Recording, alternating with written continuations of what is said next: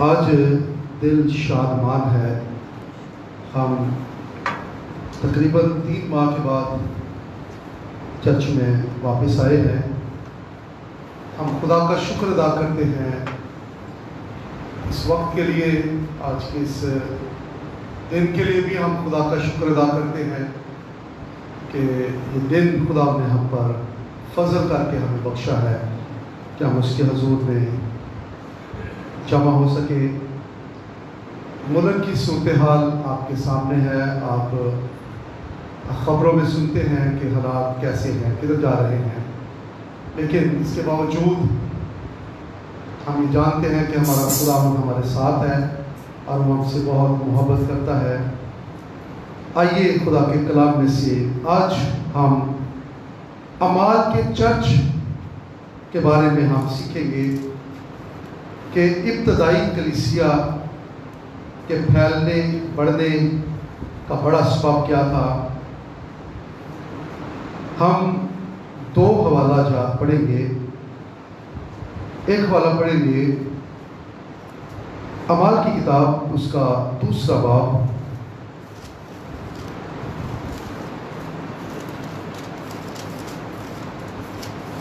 और उसकी बयालीसवीं आयत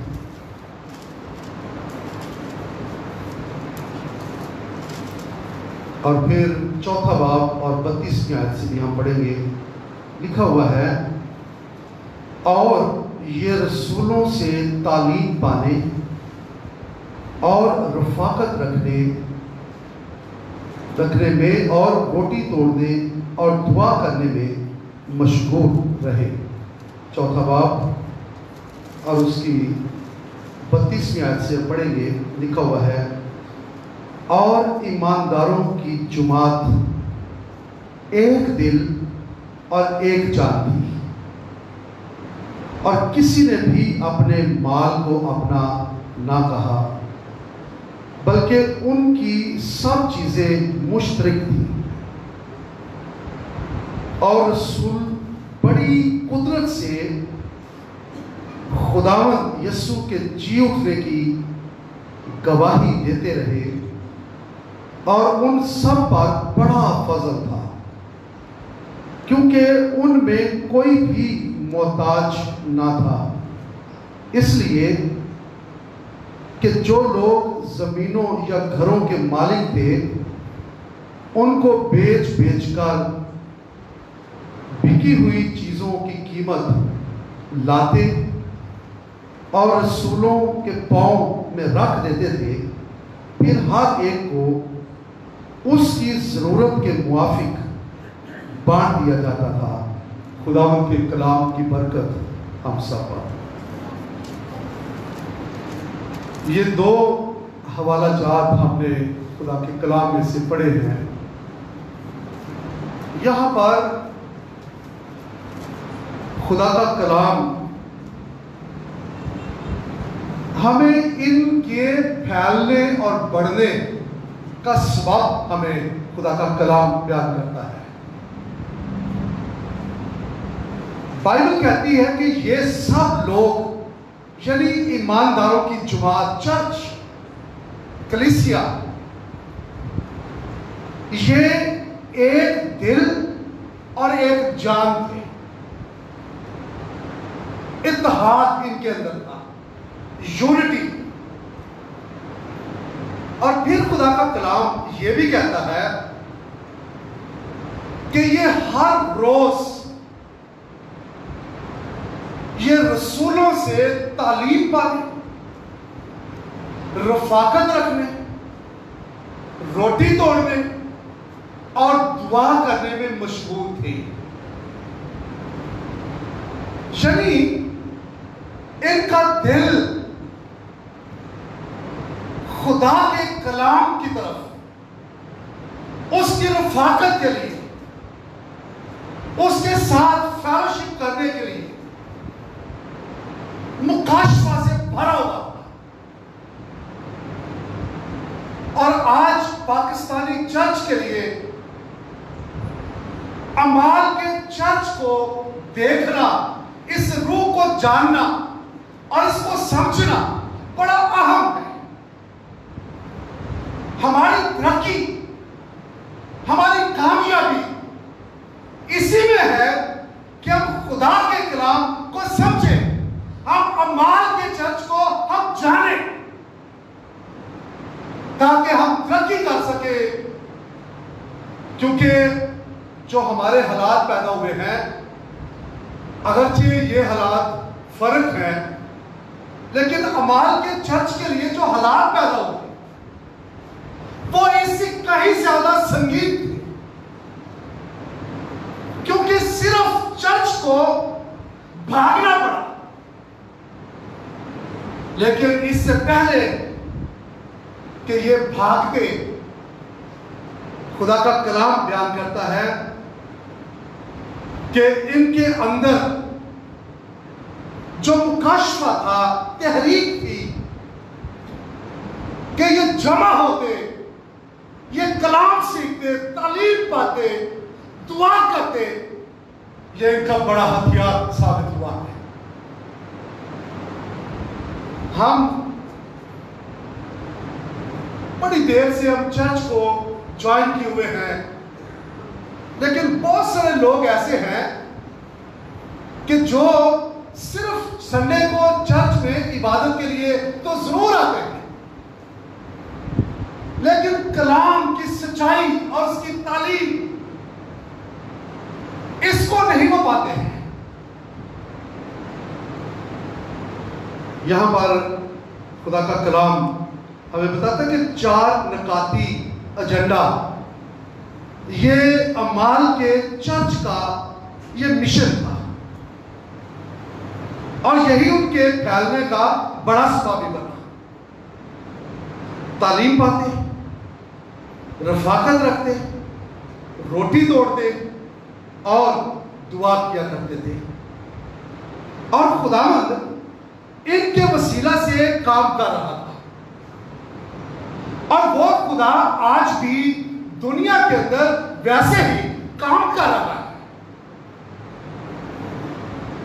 लेकिन हमारा जो एजेंडा है, उस एजेंडे से फ़र्क नज़र आता है। हम जस्ट खुदा के हजूर में आते ज़रूर हैं। लेकिन सिर्फ़ हम ये समझते हैं कि क्योंकि संडे है, हमें जाना है, लोगों को मिलेंगे, पाजी साहब को भी पता चल जाएगा। लेकिन हमें इस समझ आने की ज़रूरत है जो हालात पैदा हो रहे हैं कि हम खुदा के कलाम को सीखें, हम इसको समझें, हम इसको जानें। और खुदा का कलाम कहता है कि ये हर रोज ये जमा होते हैं। अब आपकी किताब उसके दूसरे बाब की छियालीस में में लिखा है, हर रोज एक दिन होकर हैकल में जमा हुआ करते थे एक दिन। यूनिट थे इतिहाद में। इनका जमा होने का मकसद यह था कि ये रसूलों से तालीम पाते सीखते कलाम को सीखते उस वक्त ये जो हालात वो फेस कर रहे थे, वो इतने भयानक नहीं थे, लेकिन वो बड़ी संजीदगी से। वो इंजील को, बाइबल को, कलाम को ये सीख रहे थे। ये रसूलों के पास जमा होते और जो कुछ मसीह इनके साथ रहकर बातें करता था, वो उनको सीख रहे थे और रसूल बताते कि हमारा खुदावन क्यों इस दुनिया में आया? तो दुनिया से मोहब्बत करता है। और उसका दुनिया में आना यह बड़ा मकसद यह था कि गुनहगार और पापी इंसान वो निजात पाए, ज़िंदगी पाए। और ये सीख सीखते उनको हालात का कुछ इलम नहीं था कि उनके साथ क्या होने जा रहा है, लेकिन ये अपने उस कलाम को दिल में रखकर ये बड़ी संजीदगी से इस पर गौर करते लेकिन आज इंसान अगर संजीदा हो, अगर कलिसिया संजीदा हो, सीखने के लिए तो हमारे लिए दरवाजे खुले हुए हैं। लेकिन हम अगर मज़हब की चादर में छुपे रहते हैं तो ये कलाम जो जिंदगियों को बदलता है जो जिंदगियों में घर करता है अगर वो हमारी ज़िंदगी में नहीं होगा तो फिर हमारे लिए मुश्किल हो सकती है। क्योंकि खुदा का कलाम कहता है कि एक वक्त आएगा कि ये कलाम हमें नहीं मिलेगा। ये कलाम, ये सुनाने वाले, कलाम को सिखाने वाला मिलेगा नहीं, कलाम नहीं मिलेगा। अमाउस की किताब, उसका आठवां बाप और उसकी ग्यारहवीं आयत से तेरहवीं आयत तक लिखा हुआ है खुदावन खुदा फरमाता है, देखो वो दिन आते हैं कि मैं इस मुल्क में कहर डालूँगा ना पानी की प्यास, ना रोटी का कहर, बल्कि खुदावन का कलाम सुनने का। तब लोग समुंदर से समुंदर तक और शिमाल से जनूब मशरक तक भटकते फिरेंगे। और खुदावन के कलाम की तलाश में इधर उधर दौड़ेंगे। लेकिन कहीं ना पाएँगे। और उस रोज हुसैन कुमारियाँ और जवान मर्द प्यास से बेताब हो जाएँगे। ये खुदा का कलाम बयान करता है। कि एक वक्त आने वाला है। जिसमें खुदा का कलाम नहीं मिलेगा। इंसान ढूंढेंगे, तलाश करेंगे, मारे मारे फिरेंगे। लेकिन ये कलाम उनको नहीं मिलेगा। अबाल के चर्च में ये रूह उनके अंदर मौजूद थी कि वो सीखते उनको ये पता नहीं था, उनको भागना भी पड़ सकता है। लेकिन उन्होंने बड़ी संजीदगी से खुदा के कलाम को सीखा। जाना खुदा के कलाम। खुदा का कलाम कहते हैं, उस रोज लोग इधर उधर दौड़ेंगे, लेकिन कहीं ना पाएँगे। गुस्सों के तीसरे बाप की अठारहवीं में, सोलहवीं में लिखा हुआ है, मसीह के कलाम को अपने दिलों में कसरत से बसने दो और कमाल दनाई से आपस में तालीम और नसीहत करो। और अपने दिलों में फ़सल के साथ खुदा के लिए मजामीर और गीत और रूहानी गजलें गाया करो। यहाँ पर खुदा का कलाम कहता है कि अपने दिलों में कलाम को कसरत से बसते यानी इसको सीख लो, इसको नोश कर दो इसको अपने अंदर आने दो। ये कलाम ज़िंदगी में आ जाए, ताकि किसी भी वक्त जब इंसान को कलाम की ज़रूरत हो तो वो अपने अंदर से कलाम की सच्चाइयों को वो समझ सके, जान सके, पा सके, अपने किराने के लिए, अपने दोस्तों के लिए वो कलाम बोल सके। इन दिनों में जब लॉकडाउन था और लोग घरों में थे चर्च में नहीं आ सकते थे तो बहुत सारे लोगों ने घरों में दुआया मसबे तामीर किए और ये बहुत अच्छा कदम है। लेकिन इसके साथ अगर हमारी ज़िंदगी में कलाम हो, हम कलाम से भरे हुए हो तो हम अपने बच्चों को खुदा के कलाम की सच्चाइयों से रोशनास करवा सकते हैं। लेकिन अगर हमारी ज़िंदगी में कलाम नहीं है, हमने सीखा नहीं है तो फिर हमारे पास कुछ नहीं है। अमाल के चर्च ने बड़ी संजीदगी से रसूलों के कदमों में बैठकर कलाम को सुना।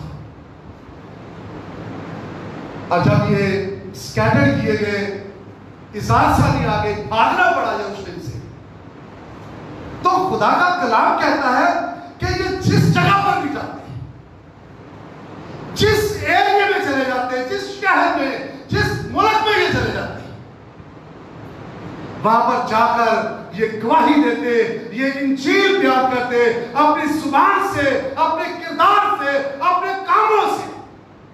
ये खुदावत को चला देते इसलिए कि ये कलाम का जखीरा इनके अंदर था।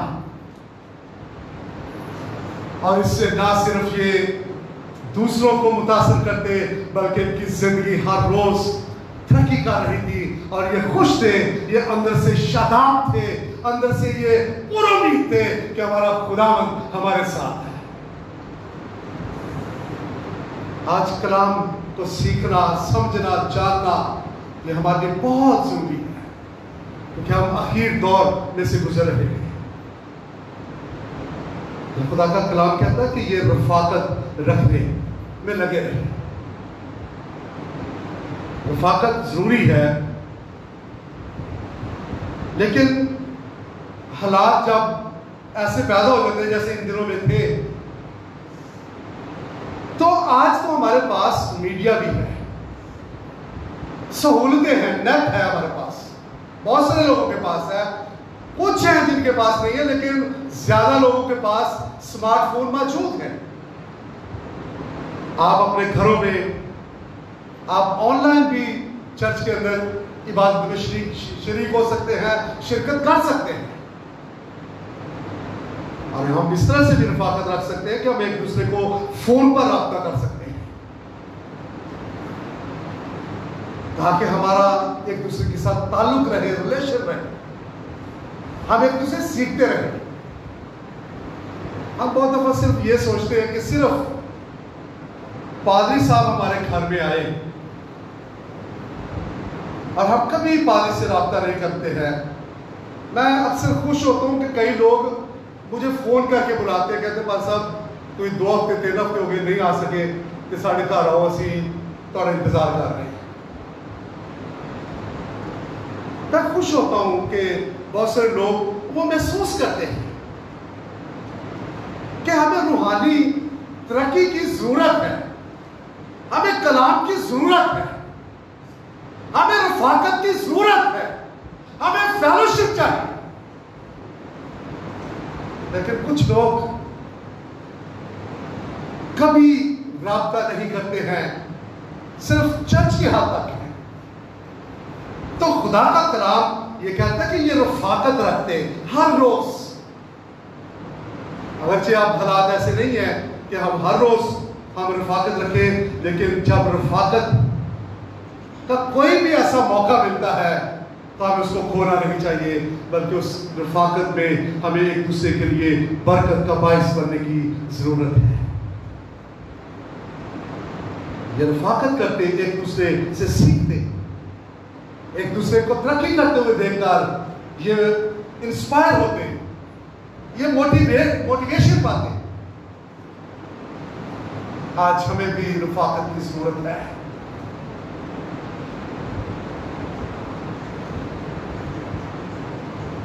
और ये रोटी तोड़ने में ये लगे रहते हैं। यानी इसका मतलब है कि ये शायर बानी ये रूहानी तरक्की का बायस है। और जब ये खुदावन की मेज के पास आते तो ये मसीह के दुखों को याद करते उसकी सलीब को याद करते उसके कफारे का ये यकीन करते समझते कि वो दुख मेरे थे वो कोड़े और कील, वो मेरे थे जो मसीह ने अपने ऊपर ले लिए ये बातों को याद करते और इनका दिल भर जाता। ये आँसू बहाते खुदावन के हजूर में कि खुदावन तेरा शुक्र हो कि तूने मेरी मौत अपने ऊपर ले ली। रोटी तोड़ना ये कलिसिया की तरक्की और ताजगी है। जोहना की इंजील छठे बाब की तिरपन और चौवन आयत में लिखा हुआ है, यीशु ने उनसे कहा, मैं तुमसे सच सच कहता हूँ कि जब तक तुम इब्ने आदम का गोश्त ना खाओ और उसका खून ना पियो तो मैं ज़िंदगी नहीं। जो मेरा गोश्त खाता और मेरा खून पीता है, हमेशा की ज़िंदगी उसकी है, और मैं उसे आखिरी दिन फिर ज़िंदा करूँगा। गौर कीजिए, कहता है कि जो मेरा गोश्त नहीं खाता तो उसमें ज़िंदगी नहीं। क्योंकि शायर वाणी ये भी का अहम जुस है साक्रामेंट है, इसमें हम मसीह की उस सलीबी मौत को याद करते हुए हम उसके साथ अपनी मोहब्बत का अहद करते हैं, इकरार करते हैं। ये भी बहुत ज़रूरी है कि हम उसके साथ रफाकत करें और उसके साथ रोटी तोड़ने में उसके साथ लगे रहें। चौथा जो उनका अहम जुज है, वो दुआ करने में मशहूर रहे उनकी दुआया ज़िंदगी बड़ी मज़बूत क्योंकि ये हर रोज बिना नारा ये दुआ किया करते थे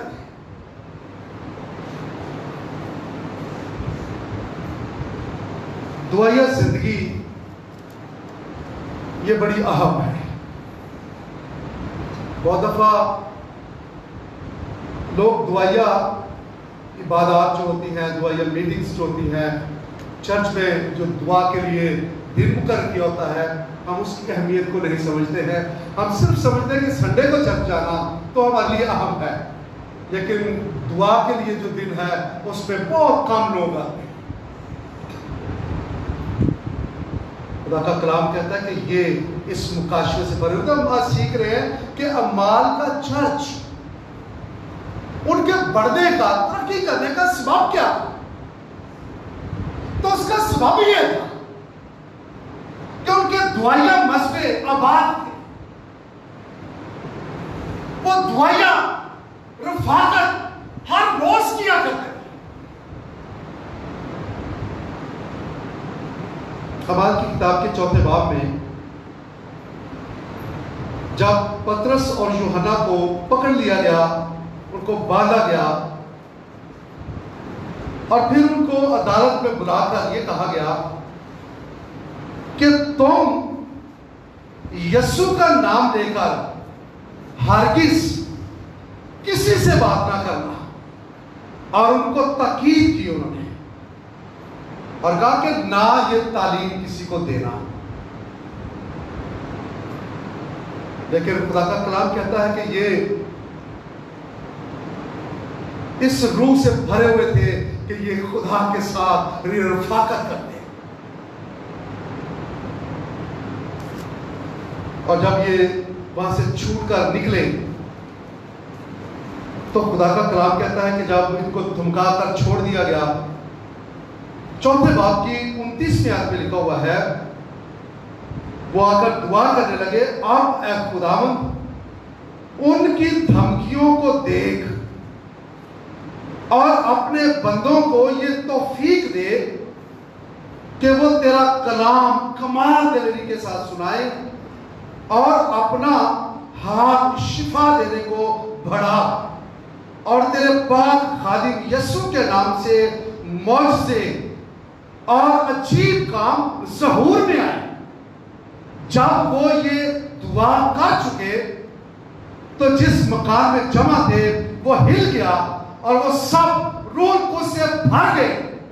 और खुदा का कलाम दलेरी से सुनाते रहे। गौर कीजिए कि ये दुआ कर रहे थे और खुदा को कहने लगे कि इनकी धमकियों को देख लेकिन खुदा का कलाम कहता है कि जब ये दुआ रहे थे तो ये रूह को से भर और ये दलेरी के साथ कलाम सुना रहे थे यानी दुआया मसबा हमें रोल को उसकी ममूरी बख्शता है। दुआया मसबे पर खुदावंद कलाम हासिल करता है। दुआया मसबे पर हमें दलेरी बख्शता है हमें हौसला देता है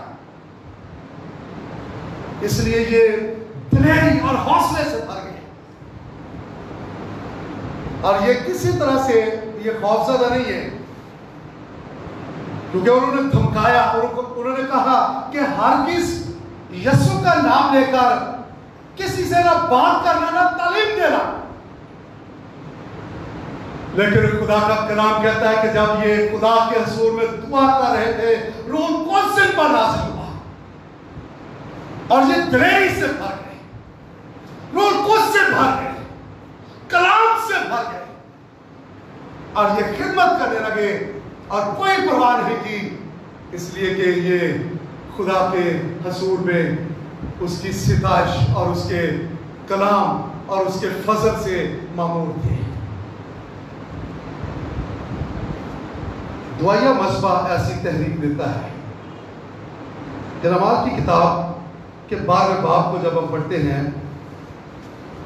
जब हैरोदीस ने कलिसिया को सिताया और खुदा का कलाम कहता है कि उसने बास पर हाथ डाला, याकूब को तलवार से कत्ल कर दिया और पत्रस को गिरफ़्तार कर लिया और कलिसिया को डरा दिया, धमका दिया। इसलिए कि कलिसिया परागंदा हो जाए। खुदा का कलाम कहता है कि पत्रस, ये यकूब को कत्ल कर दिया गया। और एक बड़ा खौफ था। लेकिन लिखा हुआ है खुदा के कलाम में, बारहवें बाप की पांचवी याद में, पास कैद में तो पत्रस की निगाहबानी हो रही थी। मगर कलीसिया उसके लिए बदिलो जान खुदा से दुआ कर रही थी। ये उनकी तरक्की का राज है कि जेल में है बदस लेकिन कलिसिया बदिलो जान अपने घरों में तो खुदा के हसूर में घुटनों के बल है कि खुदा तुम मौजा कर सकता है तू बड़ा काम कर सकता है आज कलिसिया की सूरत हाल क्या है आज जस्ट हम अपने लिए तो कुछ एजेंडा रखते हैं अपनी बातों का या अपने, अपनी बरकत का एजेंडा तो हमारे पास है। लेकिन कभी हम दूसरों के लिए चर्च के लिए, खुदावंत के लिए कि उससे मोहब्बत हम करते हैं और हम कभी ये कहें कि खुदावंत, हमें तेरी है हमें कुछ नहीं चाहिए। या खुदावंत, हम तेरा शुक्र अदा करता है, शुक्रगुजारी ही करना चाहते हैं। मैं आज आपको सिखाना ये चाह रहा हूँ कि अमाल की कलिसिया के बढ़ने का सबब क्या था, उनकी तरक्की की वजह क्या थी। तो ये चार निकाती एजेंडा उनके, उनकी हिट लिस्ट पर था। उसको फॉलो कर रहे थे पत्रस कैद में है, लेकिन कलिसिया बदिलो जान वो दुआ में घुटनों के बाद खुदा के सामने वो गिड़गिड़ा रहे हैं। और ये कलिसिया के लिए बड़ा कड़ा वक्त था। कलिसिया को खत्म करने की तहरीक जारी थी। और इब्लिस आज भी ऐसे मनसूबे ला रहा है, जिससे कलिसिया बड़ा गंदा हो। लेकिन हमें खुदा उनकी ज़रूरत है, क्योंकि वो हमारे साथ है। खुदा कलाम कहता है कि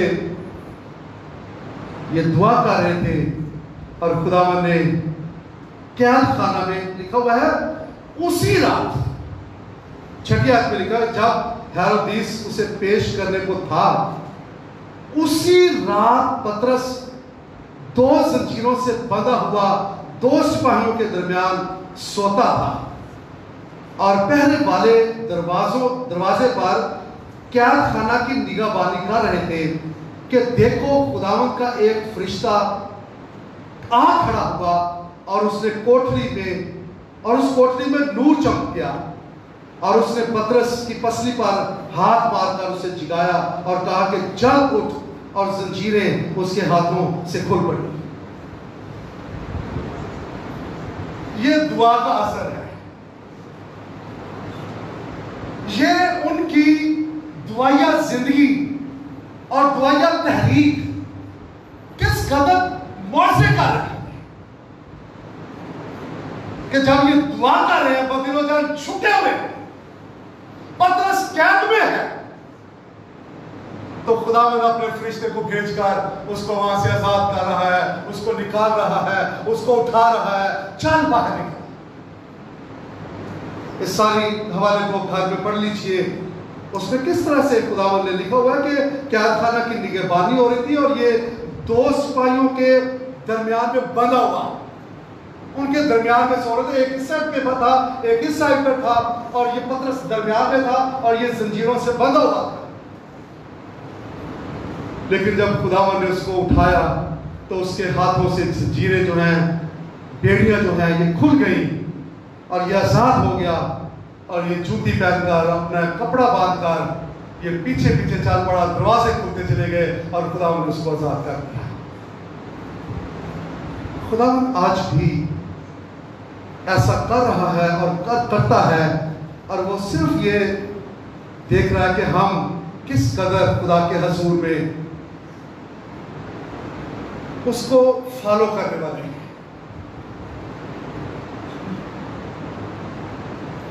कलिसिया की दुआया मीटिंग में बड़े बड़े मुआवजे। खुदा खुद कर रहा था। आज हमारे मुल्क को भी खुदा इस वबा से, इस वायरस से आज़ाद कर सकता है जब हम खुदा के हसूर में छुप जाते हैं। क्योंकि इफ्सियों पाँचवें बाप इफ्सियों छठे बाप की पंद्रहवीं आदमी लिखा हुआ है, हर वक्त और हर तरह से रूह में दुआ और मिन्नत करते रहो और इसी गरज से जागते रहो कि सब मुकदसों के वास्ते बिना नागा दुआ किया करो आज मौजूदा चर्च को तालीम, रफाकत, रोटी तोड़ने और दुआ करने की ज़रूरत है, इस मुकाशवे की ज़रूरत है, ताकि हम तरक्की कर सकें। हमें अमाल की कलिसिया के किरदार की ज़रूरत है, गवाही की ज़रूरत है कि हम गवाही दें, हम ऐलान कर सके, बता सके कि हमारा खुदावन हमारे लिए बड़े बड़े काम करता है और ये लोग ऐसा ही कर रहे थे ये अपनी जबान से गवाही देते लेकिन अपने किरदार से लोगों को ये बता रहे थे कि हम मसीही हैं, क्योंकि लोगों ने उनके किरदार को देखकर उनको अंताकिया में पहली दफ़ा उनको मसीही कहना शुरू कर दिया। इब्तदाई कलिसिया की तरक्की का राज ये था कि इनके दिल दूसरों के लिए, मसीह को मुतारफ करवाने के लिए भरे हुए थे, जोश से भरे हुए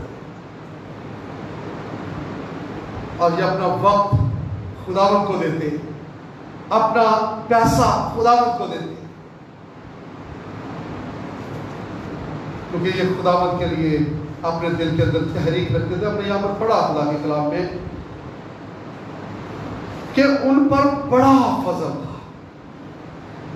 और वो किसी तरह से कोई भी मोहताज नहीं था। और जो कुछ उनके पास था, वो एक दूसरे की मदद किया करते, एक दूसरे को सपोर्ट करते, एक दूसरे को उठा रहे थे। और हर एक की ज़रूरत के मुताबिक उसको बांटते इसलिए कि खुदावन उनके दरमियान काम कर रहा था। अच्छा रवैया है कि हमने भी इन दिनों में एक दूसरे को सपोर्ट किया, एक दूसरे का ख्याल रखा। और ये क्रिश्चियन स्पिरिट है। काश हम इससे बढ़कर, आगे बढ़कर काम ताकि हम अपने खुदावन को चला दे सके। तो इब्तदाई कलिसिया की तरक्की का राज इन चार बातों में था। आज हमारी तरक्की किस जगह पर है? क्या हम रुके हुए हैं? क्या हम तरक्की कर रहे हैं? क्या हमने इंजील को सीख रहे हैं? कलाम सीख रहे हैं? क्या हम रफाकत कर रहे हैं? क्या हम रोटी तोड़ने और दुआ करने में लगे हैं? हमें इन बातों की तरफ़ आने की ज़रूरत है। तो चर्च तरक्की करेगा, चर्च बढ़ेगा। आइए चलने के लिए हम अपनी आँखों को बंद करेंगे, हम अपने सरों को छुपाएँगे और हम दुआ करेंगे। ये सब अपने आप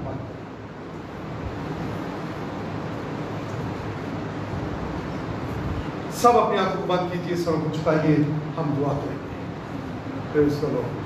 आइए, सब झुक जाए खुदा के ज़ोर में। अपनी आँखों को बंद करेंगे, हम दुआ करेंगे। सब अपनी आँखों को बंद कीजिए। आज के वक्त की मुनासबत से सब दुआ करना शुरू करें। सब दुआ करें।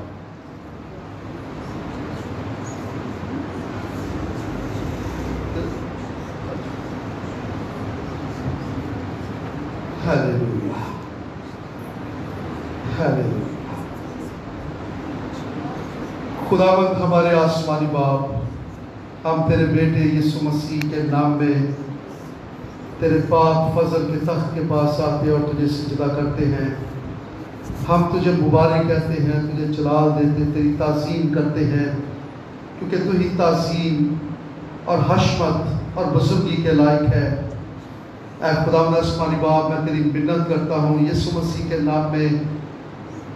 छोटे बच्चे को यीशु के नाम में तू शिफा बख्श दे, उसको छू दे, उसके बंधनों को तोड़ दे और उसके पेट की प्रॉब्लम यीशु के नाम में जाए। और खुदा तू अपना शाफी हाथ बढ़ा और अपना जलाल और अपनी कुदरत को जारी कर। ऐ खुदा आसमानी बाप तेरे हसूर में तेरी मिन्नत करता हूँ कि खुदा आसमानी बाप तू हमारे बुज़ुर्ग मार्था को छू दे, उनको शिफा बख्श दे उन पर फजल कर उन पर रहम कर और उनकी आँखों को छू दे। ऐ खुदावन तू यीशु के नाम में अपनी कुदरत उनकी ज़िंदगी में जारी कर बुज़ुर्ग इमानुएल के लिए भी हम दुआ करते हैं, अपने बंदे को छू कर शिफा बख्श दे फ़सल कर रहम कर और ऐ खुदावन उसको उठा खड़ा कर, मौजा कर उसकी ज़िंदगी में। बहाल कर खुदावन मैक्सीमा को छूकर उसको भी शिफा बख्श दे। तेरा फजल उस पर आए ताकि तेरे नाम को जलाल मिल जाए। हम अपने भाई इमानुअल सरदार के लिए भी दुआ करते हैं, यीशु के नाम में खुदा उसको भी सेहत बख्श दे और उसका खुदा खुदा सारा प्रॉब्लम जाए और उसको मुकम्मल शिफा मिल जाए और तेरे बेटे यीशु मसीह को जलाल मिले। और खुदा मैं चर्च के लिए खास दुआ करता हूँ एक एक पर तेरी बरकत आ जाए एक एक को छू दे यीशु के नाम में। ताकि इनकी ज़िंदगी पर तेरा हाथ बड़ा रहे और खुदावंद इनकी ज़िंदगी से तुझे जलाल मिले। इन पर खुदा खुदा तू रहम कर, घरानों पर रहम कर। जो घरों में है, उनको भी बरकत बख्श दे। जो और बीमार हैं, उन सबको शिफा बख्श दे। तो अपनी शिफा को जारी कर, अपनी बरकत और अपनी कुदरत को जारी कर, ताकि तुझे जलाल मिल जाए। खुदा यीशु मसीह के नाम में। आमीन। आमीन।